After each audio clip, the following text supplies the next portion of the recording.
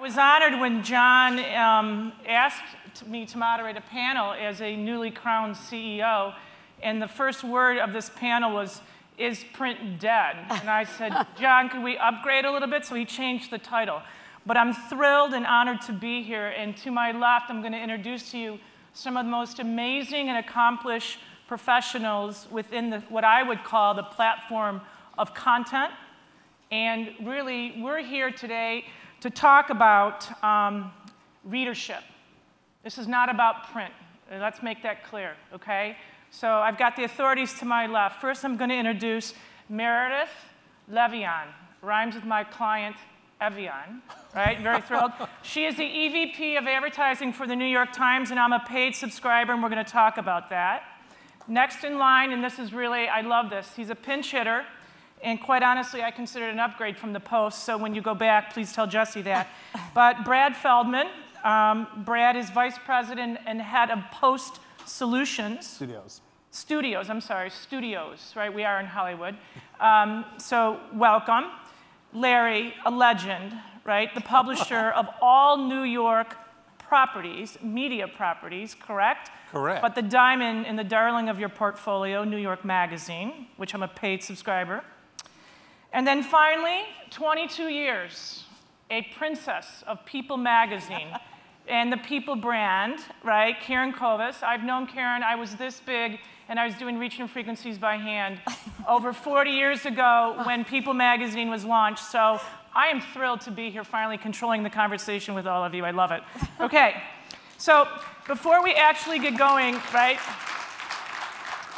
Before we actually get going into some of the content, um, I did a little homework on all of you to make sure that we grounded the audience in why we have these fine individuals sitting up here today.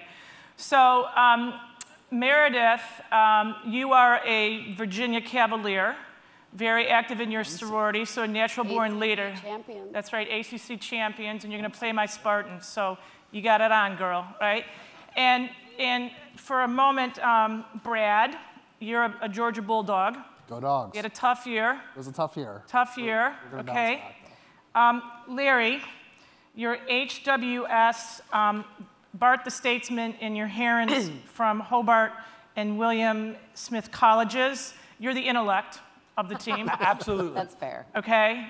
And Karen, a beloved Cornell um, Big Red, okay? So again, they come with qualifications. And um, our Oscar producing technological staff in the back, we have some content to share. So I'm going to hand off the baton to Meredith. She's going to wow you with some content, right? And then we're going to have some discussion because I got some questions for you, okay? Awesome. So Meredith. I'm, I'm actually going to ask our Oscar producing staff in the back if we have a clicker, which I don't think. No, they do that. We pay them a, a crap they- load of money. They do everything. Honest to God, that's where our dues go to all this stuff right here, I'm right ju- now. I'm just going to say click. true. I love that. So Oh, I, I have to start by. Um, Oh wait, oh wait, see, he shows up. Look. I thought there was a clicker. I, I guess we don't pay them enough. Exactly. You know, we are the second to last panel. Right, exactly. right? Wait till the morning, they're never here. Right, Okay. So, so um, somebody said to me this weekend that if the New York Times Company were a solar system, our newspaper would be the sun, and everything else we did would be the planet that planets that orbited around that sun. And in thinking about how to talk about print transformation, I actually stopped him and corrected him and said, "It's just not true." Um, at the Times, we think of our journalism as the sun, as kind of the life force of everything we do, and certainly the life force of, of the transformation we've been through, and all the ways that people access that journalism as, as the things that are in orbit. And when we talk about that journalism, let's see if this actually See? works. Look at we that. talk about, I'm clicking it myself, we talk about photographs like this one that was shot by Tyler Hicks, who risked his life to be in that mall in Nairobi when the shooting was, was happening, or the incredible story that David Kirkpatrick wrote um, a year after Benghazi that actually brought clarity to what, what really happened, who attacked our embassy, or this amazing, this one gets me every time, this amazing story written by Luke Mogelson and, and photographed um, by one of our award-winning photographers where they spent three days on a boat with 57 refugees um, who were trying to get asylum in Christmas Island. And on a happier note, when we think about our journalism, I always think about everybody in this room probably knows who this is. Bill Cunningham travels all over the world to help unfashionable people like me make sense of, of what trends On his bike, right? are. That's right. That's right. And with that, that very famous camera. So when we when we think about our transformation, we actually think about the journalism as, as the life force in it. And I would say for the last 17 years, our work has really been how do we make that journalism much more accessible to people in every way they'd want to access it. So in social and mobile and digital and print and live events. And I'm happy to say there are sort of two great referendums on the first part of that transformation so far. One is that today there are more people reading the New York Times than at any other point in our history, and that's probably obvious given digital, given mobile, given social. I think the even bigger fact and a huge part about our the huge aspect of our being able to sustain a future is that there are more people like Lori who are paying Yeah. for the New York Times today than at any other point in our history. They and don't that- comp. Yeah, They don't comp anymore, so don't try. You get nothing from them anymore. see me if you want to talk about that. But um, so, so more people paying, and you know, just to, to give a, a specific on that, we have almost 800,000 people paying us for a digital subscription. A lot of money up from zero two and a half years ago. So a big part of our transformation will be how do we keep finding people who want to pay for some of the great content that I showed you. And over the next few weeks and months, we'll actually launch a whole series of new mobile first journalistic products that we believe will be attractive on a paid basis to new audiences. So that, that's the first part of the transformation. Second part of the transformation at the Times, I think ironically and, and frankly for every media company, is about how do you stay relevant in a digital and mobile and social and whatever comes next world. And the, irony for us is that we stay relevant by doing more of and committing more to the same things we've been doing for 163 years. And the first of those things is by being a, a, a, a beacon of truth in the world. And the way we can be that beacon of truth is by committing to staffing a newsroom um, the way it needs to be staffed. So, you know, an example of that, before the downturn, we had 11, so six years ago, we had 1,100 people in the newsroom at the Times and 48 bureaus around the world, and we have just as many today. World kind of relies on the Times for what is truth. World also relies on the Times for what are the stories that actually matter. So in a world of abundant content, we help people decide what's a story of consequence, and we put stories that might not otherwise be on the map on the map. We did a great package on a very compelling story on homelessness at the end of last year that was hugely read, and it, it really made that a consequential issue in New York City again. And you know, I, I- I would say in the world that we live in today, it may not be enough to be a beacon of truth and, and to also be the arbiter of consequence. We also have to be master storytellers. We have to master, you know, what does it take to really engage and immerse people. And two years ago, we took a great leap forward with a, a story called Snowfall that I'm guessing many of you have seen, which Yep. was multimedia at its best. And since that time, we've done hundreds of interactive stories. This is our explanation of Ted Ligety's Better Slalom Than Anybody Else for New Yorkers in the room. I love this. This is our explanation of how, in 12 years, the, the landscape of Manhattan changed dramatically under Mayor Bloomberg. And this is actually the last that I'll show you. This is my favorite of the immersive and interactive stories we've done last year. Um, how many people in the room have seen this? So, so this was the dialect quiz, 25 questions that placed where you were from based on what words you use to express things. And remarkable for two reasons, written by an intern, and not just the best read story of 2013, the best read story of all time in the New York Times, so at least in, in modern digital history. And I'll end by saying it isn't just, um, our transformation isn't just about how do we transform journalism and storytelling, how do we do it for marketers? So at the beginning of the year, we launched a product called Paid Posts, which allows marketers to tell stories on our platform. This is an, an example of United showing how they pack a plane of athletes and equipment going to the Olympics. And I'd be remiss if I didn't show you one final thing, which is invention and innovation in print storytelling. The best watched, most attended to print ad we ran all year was a big innovation that after 163 years we figured out that for a movie called The Book Thief we could run two blank pages and that got more attention than anything else we did. Fabulous. All right. So we're going to do a handoff, right, Brad? Okay. so there's nothing like the headline of the New York Post, correct? We live by it. We dictate our social conversation by it.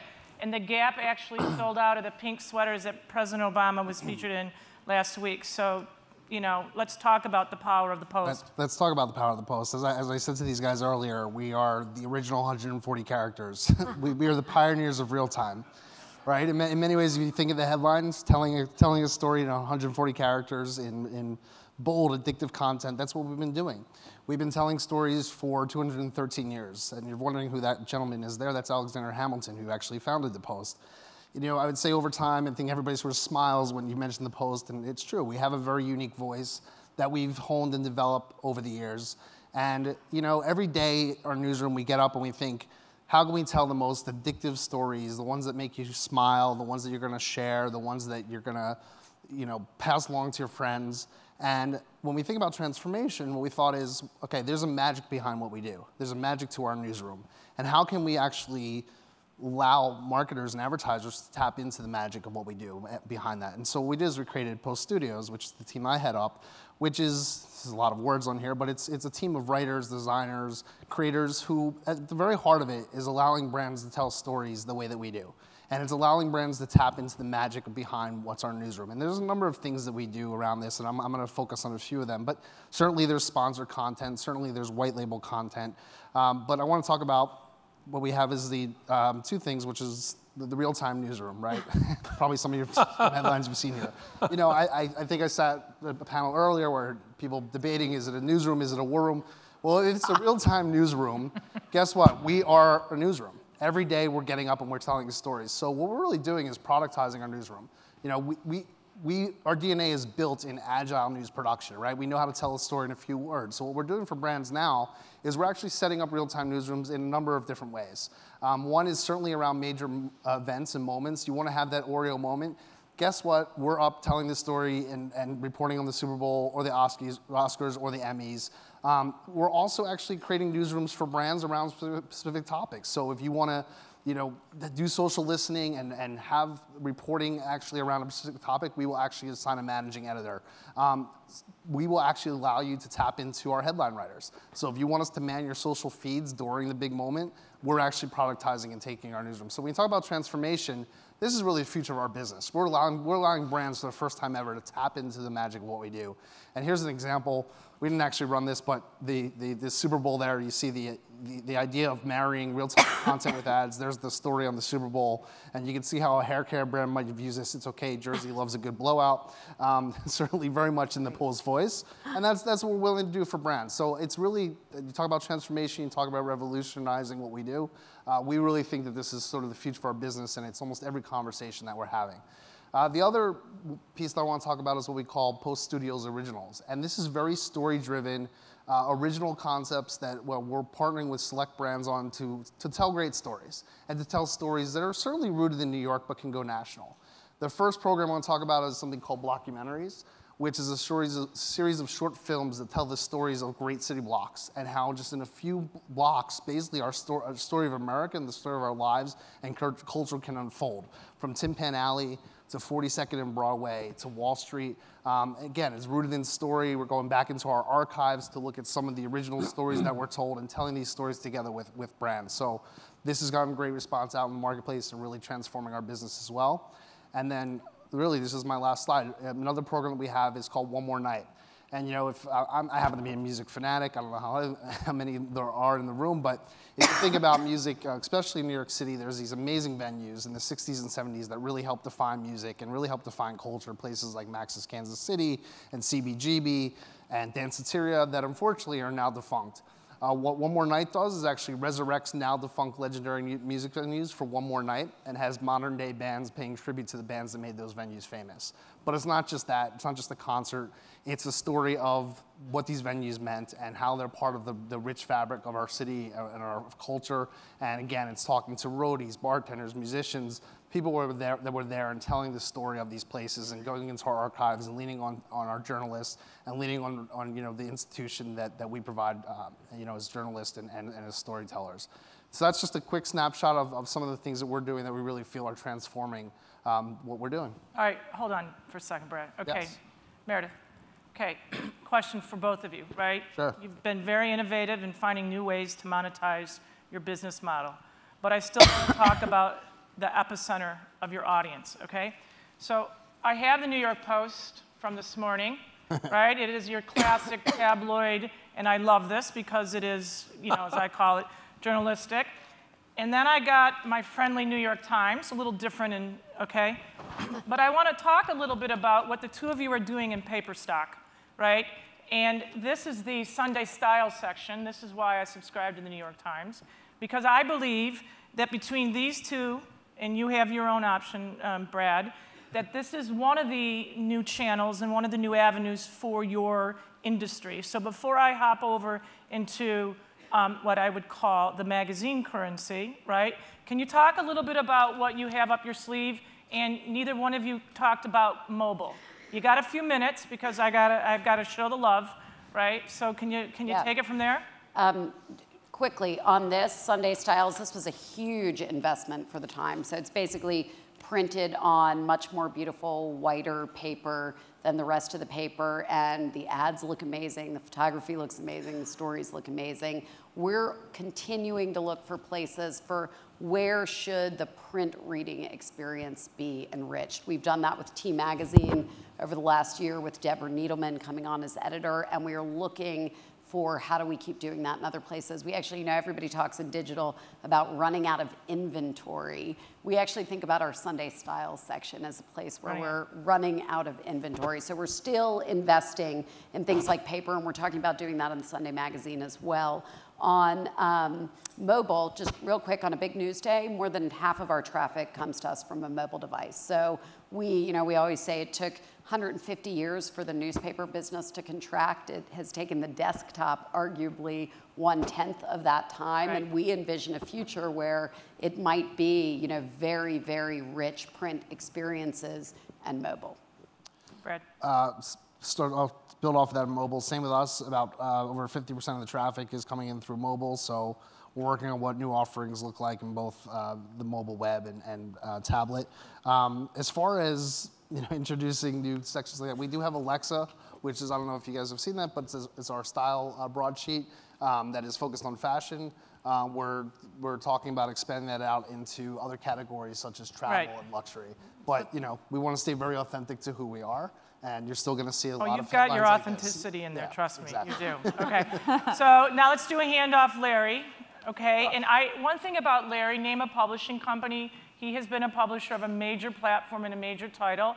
He left for a while, took a rest, and then came back how many years ago to join New York Media? 11 years ago. 11 years ago. So look at, I love this because it has been kind of a resurrection of, um, I call intelligence and just, you know, the, the, the commitment to the space. And so let's talk a little bit about the fact that we have literally New York represented here from the Times to the Post to New York Magazine. All three of you represent a different currency in New York society, kind of the epicenter of the world.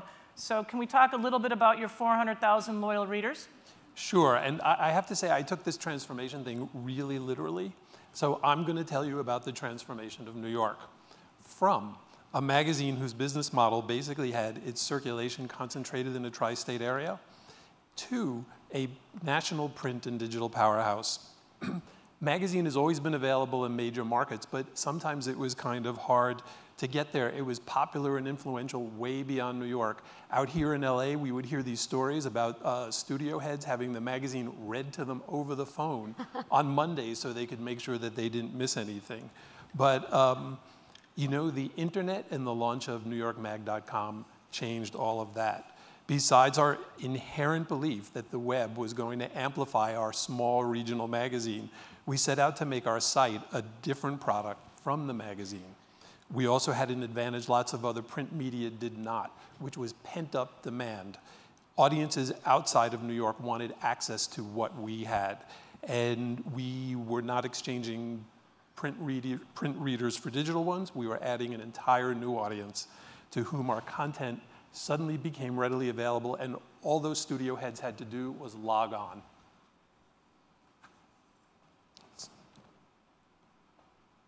There we go.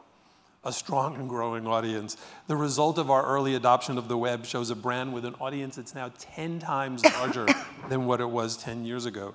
The magazine circulation is the thin red line at the bottom, and it's still a thin red line, but it's gyroscopic in its strength, and the web audience continues to grow every year. But the real transformation is that what was once a magazine with a circulation of 400,000 is a brand with an audience of nearly 20 million. So do you owe this to yourself, or, or how, how'd you do this? Oh, how do we do this? I'm Yeah, getting to Larry, that. they want to know the story of how I'm you I, did I. I, I promised the whole story within five minutes. Right, well, we have 11 minutes, 11 seconds, so Okay, it was social and search. social and search. Social and So search. where are my, my, uh, my model builders, right? That's it. We don't, we don't need any silly models, right? It works. It works. Hold on, I'll keep going. There's the going. tri state area where our little magazine circulated, and then there's the US where, uh, you, like I said, you can log on from wherever you are. Here are the pie charts. With the enormous growth of the audience came a significant shift in how the market thought of us. We created two very separate products, but with a unified voice. They were siblings. New York Magazine and NewYorkMag.com were siblings, but they were not identical twins. The magazine was built for consideration, the web was built for speed. And while the magazine has regional strength, the web is a national product. My yin and yang thing there shows that the circulation of the magazine is mostly in the New York area, and the traffic for the site is um, mostly national. Does that correlate to your attack on advertisers? Absolutely. Absolutely. the magazine has regional strength, but we are now offering this content that was not available suddenly across the country. And here's the fast part of the presentation. Um, we built out all of our areas of vertical strength. We were very big in news and politics, and we launched the Daily Intelligencer. We were very big in fashion, and now we're dominating the online fashion conversation with The Cut. New York Magazine is well known for its restaurants, so we developed Grub Street, which is all about restaurants in New York, restaurants right here at Abbott Kinney and everywhere else. We have an entertainment site because culture and entertainment is one of our strong verticals. Vulture is the fastest growing part of our brand. We like to say it has the mind of a critic and the heart of a fan. In print, we recognize that content consumption rituals are changing and we're changing with them. Here's Alec Baldwin, who may be moving here very soon if you read this piece. Because of the post. The Because post. of the post, They, bu- they, they bullied they him. call um, it, Are you kidding? He and You're- Hilaria, you're welcome. They, can't, they can't even do yoga in private. It's they, terrible. they call them names. Terrible. and The they- Post. They, Don't mention it. It's they our- it's chase our them pleasure. to LA. But the point of our, this is a, the first of our biweekly issues, and the biweekly was a big move for us, but it recognizes the change in the way people read magazines and the way people get media. Magazine will be 20% larger. The magazine will deliver more of a magazine experience, which is what we consider a premium experience. This particular issue had a magazine within the magazine, and it had a section that was meant to be cut out called The Keeper, and we also took content from our digital site, The Cut, and ran it in print. And we also gave a much richer visual experience. We have special interest titles in areas where we're really strong, weddings and design. And I'm announcing here the development of our new channel called The Science of Us, joining Intel, Grub Street, uh, Vulture is this new channel based on the enormous success of some of our pop science pieces. This one, we have a recent story called All Joy No Fun about raising kids. Um, you know, is uh, email swallowing your lives? Does money make Right. you mean? The science of us is going to be the sweet spot between enlightenment, entertainment, and awesome. Excellent, Larry. Vulture Festival, bringing Vulture to life. May 9th, Webster Hall, MIA is the opening act. That's it? You didn't even talk about The Matrix. My favorite thing in New York Magazine. If you don't read that, it is the currency of social relevancy. Have you read it? It's fabulous, right? From despicable, I, I love it. I, it. It's, it's amazing. And, and you know, it, it is really something that I think, from an advertising perspective, you're missing a revenue model there. I really believe it. Because it can become really kind of a, a virtual population of content. You need to do that. And it's sort of the brand statement for New York. It's a amazing. highbrow, lowbrow, brilliant, despicable. Uh, the result of all this is that our um, audience has grown 35% in the past year. And it's new products, it's different products, it's a unified voice. In my humble opinion, an irresistible look. Here's what it looks like. see if my animation works. There it goes. There it goes. There it goes. See? Now, do you notice that I do not have a physical copy of New York Magazine? One, what publisher comes to a major conference like this without a magazine? Larry. And two, I, I was on the plane and the flight attendant on Delta Airlines based in, in New York flying out of LaGuardia mm. said, I love that magazine. I give up. I gave, I gave up my title, Larry, and here I sit naked. Nothing to show for a prop. It's terrible. Okay, next year, bring, a, bring a book? I'm not worthy. Really? Look at Bill will buy you. Where's Bill? Bill's got all the money in a jet and the, and the, and the trophy today. He'll buy you a- an issue. Okay. Now, If anybody has a copy, now, I'm going to tell you this. See, I, t- I tore off my subscription label down here because people steal my magazine, and I'm not kidding. Um, where's Gail from the ARF? Gail, where are you? She left. I watched your panel. Where are you? I am here. All right?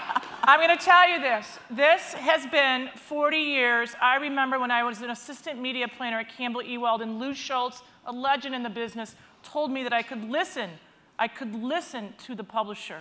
And when publishers came and called on us, we bowed. We absolutely, the world, you know, revolved around publishers. And I mean that today even more, Karen, that I've watched you grow with this brand, survive a multiple, you know, iterations of management, editors, et cetera, and you still stand. So what's the secret? And talk a little bit about why you've been so successful in the continued elevation of this brand.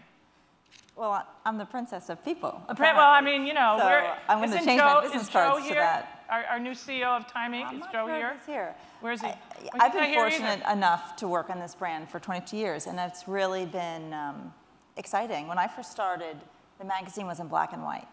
So when you think about how we tell the story today versus then, I mean, it's, it's completely transformed. And that's really, you know, it's accelerated dramatically.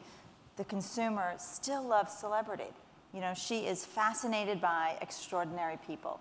And that our success has really been how do we stay true to our DNA, yet transform to meet the consumer's needs? And re- we're really working on two facets of that this year. One is investing in the core, and I think you, you've heard that from all of us today. And the second is expanding the footprint where it makes sense. So print is the core of what we do. She lives for that Friday night when she gets this magazine in her mailbox. So everything we're hearing, subscribers are highly satisfied. And you know, it still costs over $100 to subscribe to People magazine. In a world where magazine prices are all over the map, she makes a real investment.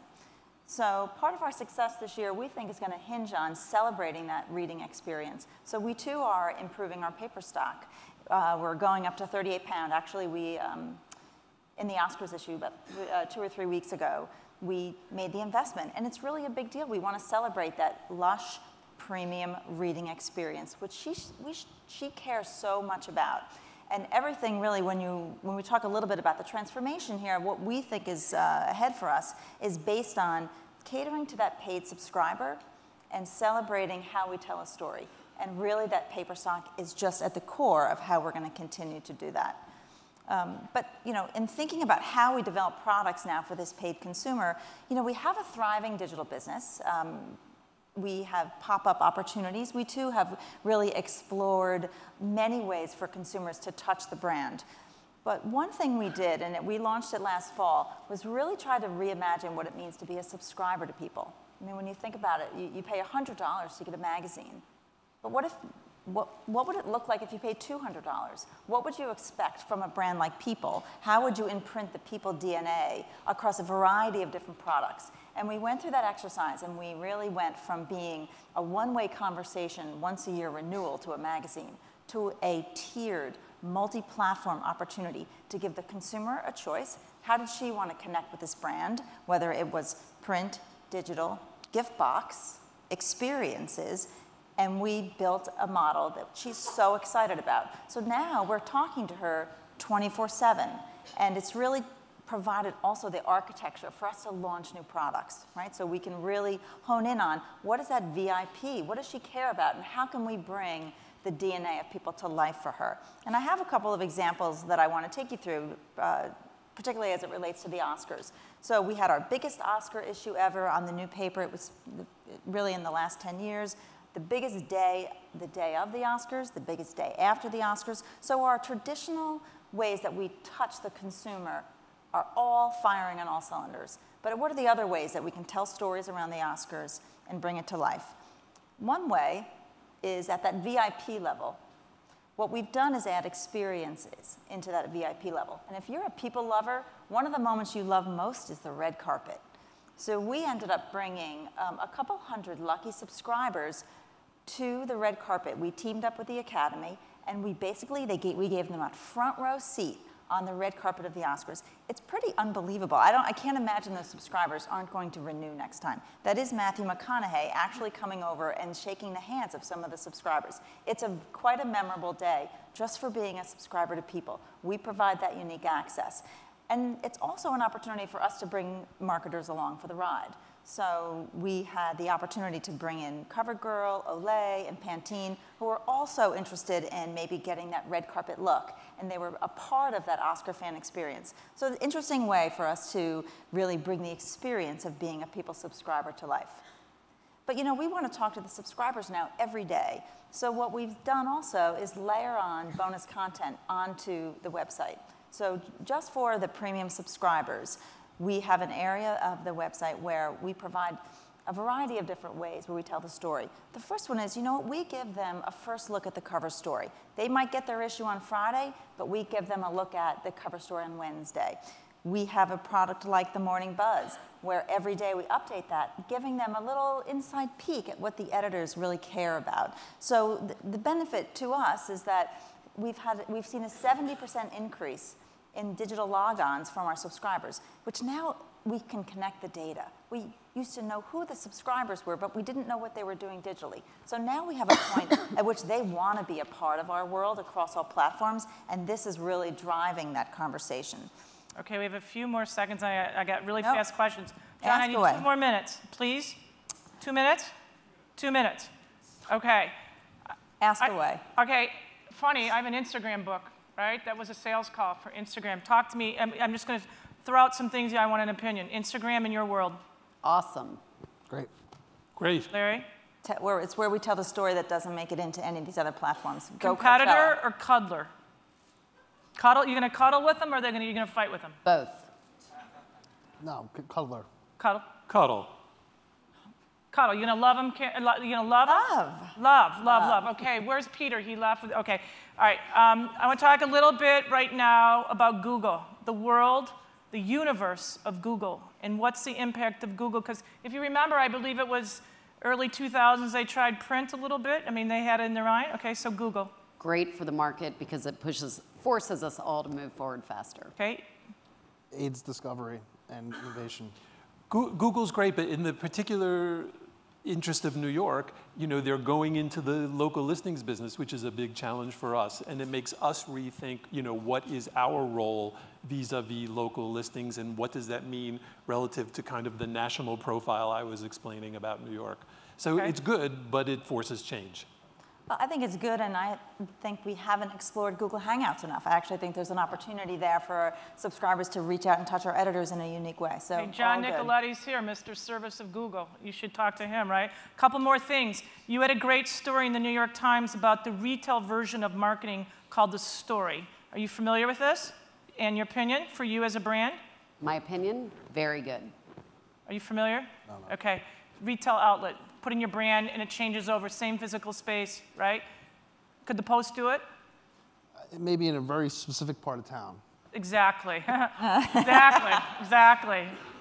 Larry? We find certain retail uh, outlets are really strong and others are just terrible. Okay. So it's a mix.